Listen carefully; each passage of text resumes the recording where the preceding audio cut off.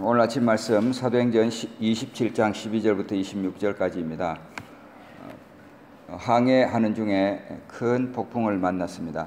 아, 어제에도 말씀을 드렸는데 우리 인생은 항해와 같다고 하였습니다.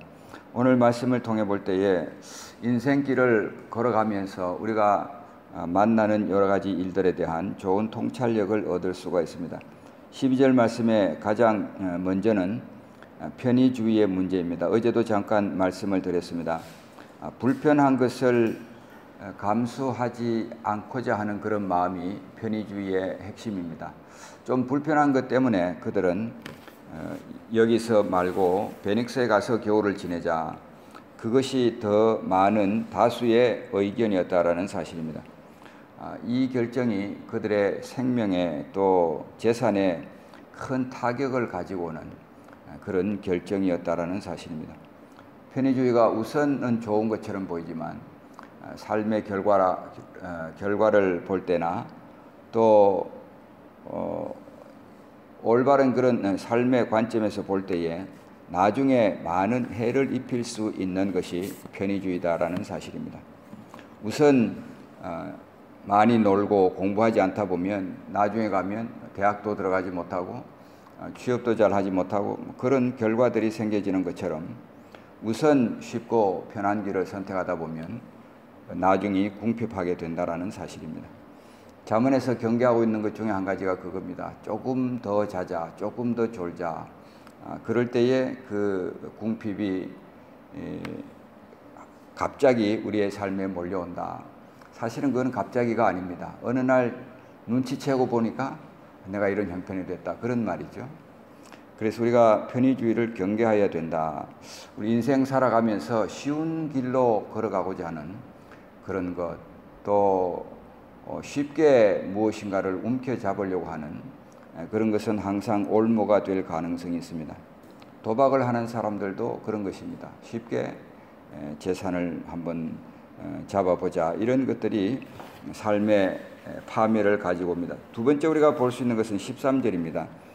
아, 남풍이 순하게 불매 그들이 뜻을 이룬 줄 알고 어, 처음 그들은 이 항해가 성공적이라고 생각을 하였습니다. 순풍이 불어오고 어, 배가 아무런 문제 없이 잘 가고 있는 것처럼 느껴졌습니다. 아, 하나님이 주시는 교훈은 그것입니다. 예기치 못한 때에 폭풍이 찾아온다라는 사실입니다.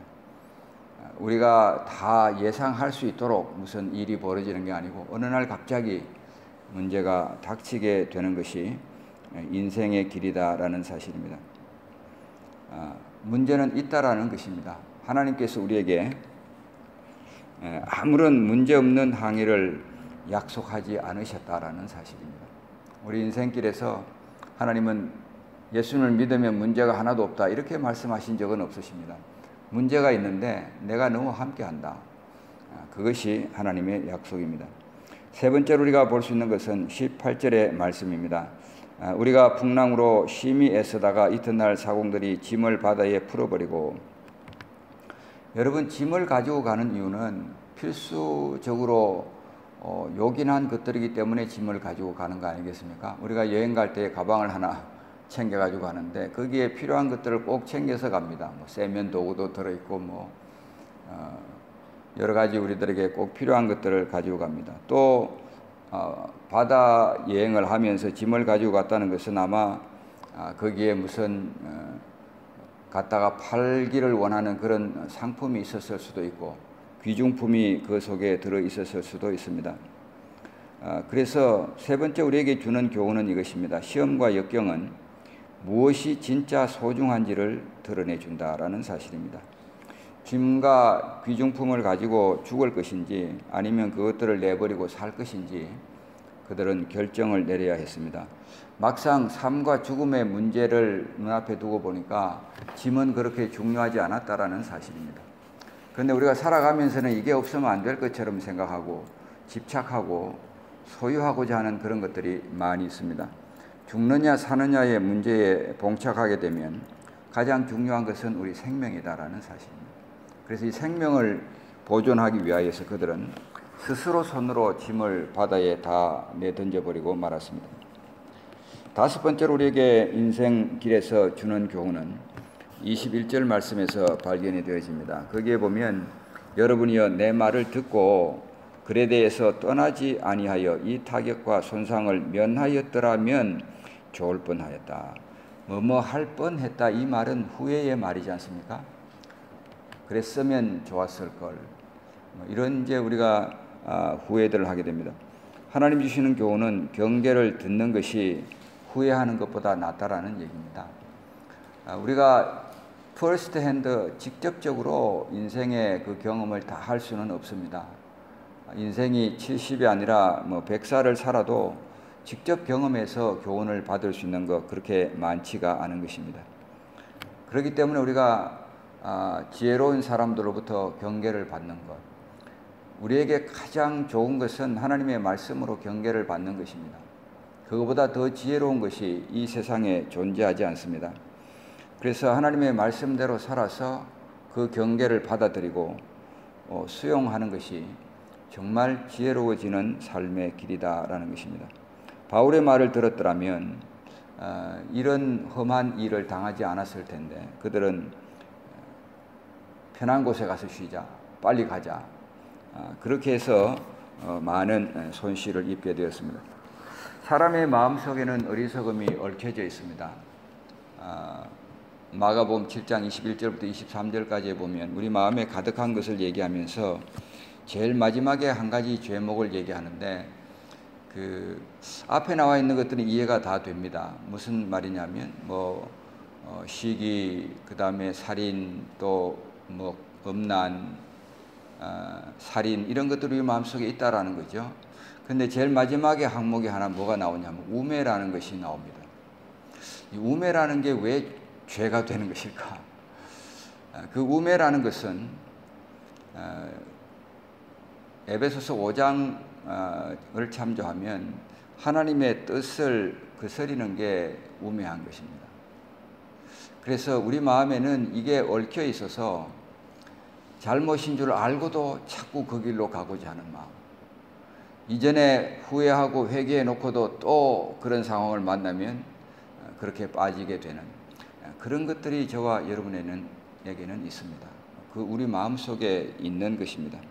그래서 경계를 받고도 또 잊어버리고 어, 이전에 했던 잘못 또 반복하고 이제 이런 것들이 우리 마음 속에 있습니다. 그래서 우리가 하나님의 말씀을 늘 가까이 하여야 합니다. 경계를 자주 받고 그것에 대해서 경성하게 되고 어, 그런 삶에서부터 하나님의 뜻을 쫓아 살아가는 삶으로 어, 나아가야 되는 것입니다. 내 말을 듣고 떠나지 아니하였다면 좋을, 좋을 뻔하였다. 어, 우리가 후회보다 경계를 받는 것이 훨씬 지혜로운 일이다 하는 것을 말씀하고 있습니다. 다섯 번째로 우리가 어, 교훈을 받을 수 있는 것 24절 말씀에 있습니다. 바울아 두려워하지 말라 내가 가이사 앞에 서야 하겠고 또 하나님께서 너와 함께 항해하는 자를 다 내게 주셨다 하였으니 여러분 약속을 받은 자와 함께 하는 것이 복입니다. 우리가 약속을 직접 받지 못한 사람들이라면 이 사람들이 살아날 수 있었던 이유는 사도 바울을 살리기 위한 하나님의 뜻이 거기 있었기 때문입니다. 그래서 바울에게 내가 가이사 앞에 서야 하겠고 하나님께서 벌써 23장 11절에서 어, 여기서 나를 증거한 것처럼 어, 로마에서도 증거하여 하리라. 아, 하나님께서 바울에게 그 어, 가야 할 길을 어, 말씀하여 주셨고 그 약속을 따라서 사도 바울은 내가 가이사에게 호소한다. 라고 어, 가이사에게 재판을 정하였고 그러면 하나님의 약속이 성취될 때까지 하나님은 생명을 지켜주신다라는 사실이죠. 그래서 바울이 이 약속을 받았기 때문에 그와 함께 여행하였던 사람들 그 생명이 보존될 수 있었습니다. 우리가 정말 하나님의 약속을 받을 수 있는 사람들이라면 참 좋겠죠. 근데 그것이 아니라면 약속 받은 사람과 함께하는 삶을 살아가는 것이 인생의 복이다라는 사실입니다. 하나님께서 그를 지켜주시고 하나님께서 복 주시기 때문에 아브라함과 함께 하였던 롯이 복을 받았습니다. 아브라함이 복을 받았기 때문에 그와 함께 하였던 롯도 큰 거부가 되었고 어, 복을 받았습니다. 아브라함 때문에 그 소돔과 고모라를 엎으시는 중에 하나님은 롯을 기억하였더라. 그런 삶이 바로 복의 통로입니다. 아, 너는 복의 근원이 될지라 천하 만민이 너를 인하여 복을 받으리라. 그 약속이 있었기 때문에 약속을 받은 자와 함께한 롯이 복을 받았다라는 사실입니다. 저와 여러분에게 하나님께서 약속을 주시면 참 좋습니다. 그것이 아니라면 약속이 있는 사람과 함께하는 그런 삶을 예, 살아가시기를 바랍니다. 여섯 번째로 우리에게 예, 교훈을 주는 것이 있습니다. 22절에 어, 예, 내가 너희를 권하노니 이제는 안심하라. 25절에 그러분이 그러므로 여러분이여 안심하라. 아, 어떻게 우리가 안심할 수 있을까요? 무엇이 우리를 안심하게 하는 것이 될 수 있을까요? 그게 바로 믿음의 실체입니다. 우리가 믿음이 있으면 안심할 수 있다. 많은 사람들은 불안하였습니다. 이게 죽게 될지 살게 될지 이 결과가 도대체 항해의 결과가 어떻게 될 것인지 그들은 20절의 말씀에 보는 것처럼 여러 날 동안 해도 별도 보이지 아니하고 풍랑이 그대로 있음에 구원의 여망마저 없어졌더라. 모든 소망이 사라진 그런 절망 가운데 있었습니다. 그런데 유독 그 가운데 있던 바울 이 한 사람은 죽음에 대한 걱정 없이 지낼 수 있는 사람이었습니다. 왜냐하면 하나님의 약속을 받았고 하나님의 말씀이 그에게 있었기 때문입니다. 그래서 우리가 25절 말씀 어, 요절 말씀입니다. 꼭 외우시면 좋겠는데요.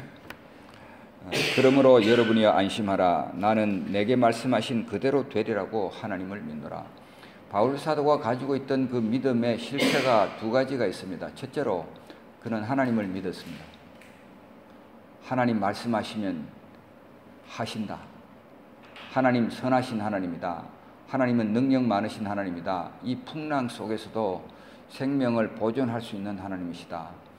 그 하나님을 신뢰했습니다.